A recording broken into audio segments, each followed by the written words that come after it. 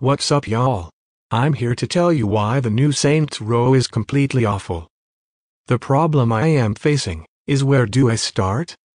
For starters, the opening shot is a dangerous sign that this will not be taking place in the city. Whoever has heard of gangsters in the desert? It's preposterous. We are then shown the first member of the Soys. I am calling this new cast of characters Soy instead of Saints for reasons you will see in seconds. Right here, Kevin is dressed like a modern-day gay American. In the real world, gay people are often killed by gangsters as an initiation to join a gang. This is also seen in Saints Row 1 when the character Stefan is murdered in cold blood. The next problem is the character Eli.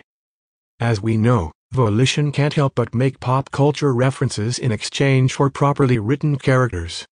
So I wasn't that surprised to see the character design for Eli was stolen right from the Family Matters character Steve Urkel. We then have an SJW blogger. This is the most dangerous in terms of the ideology Volition is pandering to.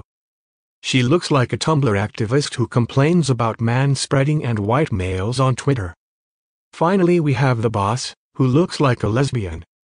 It is shocking that they actually thought a woman with an undercut was a good idea. The truth is, Volition is trying to get the vocal SJW crowd to buy the game so they will all praise the game for its diversity. In doing so, they have sacrificed their dignity and their love for their fans. This is not a game about gangsters anymore. It is a game about minority weirdos who are trying to take down powerful white men. This does not even big up my biggest issue with the game. Johnny Gat was supposed to take over and be the leader of the Saints. That was the original idea for the story before they switched it up for the woke 2021 crowd. Do not be fooled.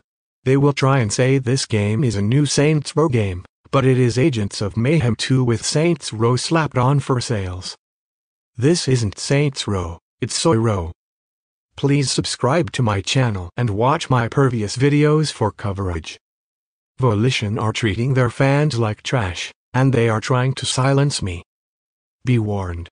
If you try and share my videos, the Saints Row Discord will ban you. They do not believe in freedom of expression or free speech. They are echo chambers designed to prevent the truth from being heard. This is much to discuss. Stay subscribed to Saints Row Clips for more information.